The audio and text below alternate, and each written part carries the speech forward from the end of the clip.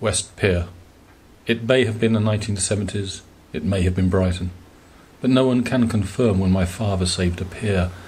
I was railing high, navigating the gaps in the planks with a slender fear, a cheap thrill, as you walked above the sea, and below, under the bolted timber, waves hypnotized the ironwork. The tang of salt over candy floss was taken up like friar's balm through your head.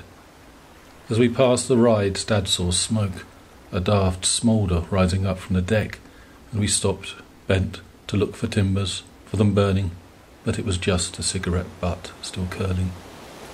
PC 883, as he was at work, called out to an attendant, and the fag was drowned with a red bucket marked fire.